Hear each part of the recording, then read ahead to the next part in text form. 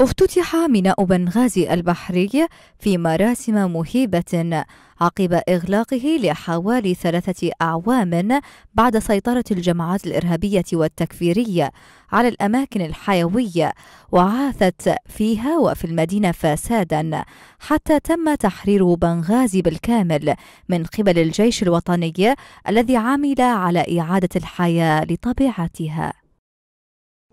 ميناء بنغازي البحري استقبل أول باخرة تجارية منذ ثلاث سنوات تحمل العلم الليبي تحت اسم الليدي حلوم حيث تعد دافعا قويا لإعادة الحياة والإعمار الفعلي للمدينة ويعتبر افتتاح الميناء على غرار افتتاح مطار بنين الدولي عقب تحرير المدينة من الجماعات الإرهابية والمتطرفة وإعلان التحرير والانتصار من الذين عاثوا في ليبيا خرابا شرقا وغربا وجنوبا.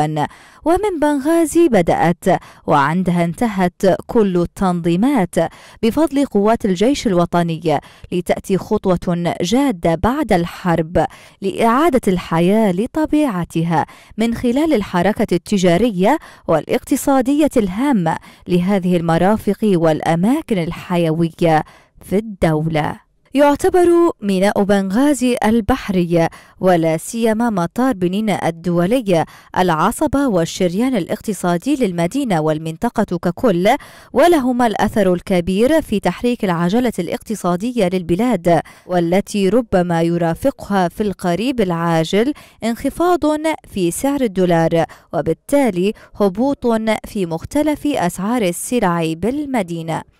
افتتاح ميناء بنغازي يعد حدثا ولحظة تاريخية فارقة وتاريخ يفصل ما بين الحرب والسلم وما بين الدمار والبناء.